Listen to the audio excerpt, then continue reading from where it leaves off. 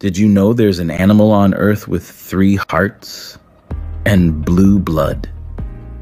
The octopus is one of the strangest creatures ever discovered. It doesn't just have one heart, it has three. Two pump blood to the gills, and the third pumps it to the rest of the body.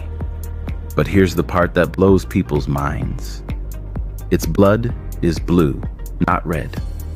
That's because octopuses use a copper-based molecule called hemocyanin to carry oxygen, and copper turns the blood blue. This blue blood actually helps them survive in freezing, low oxygen waters where most animals would die. And if things get dangerous, an octopus can change color, shape, and texture to disappear instantly, basically turning into a real-life shapeshifter three hearts, blue blood, a built-in invisibility cloak. The octopus might be the closest thing we have to an alien on Earth.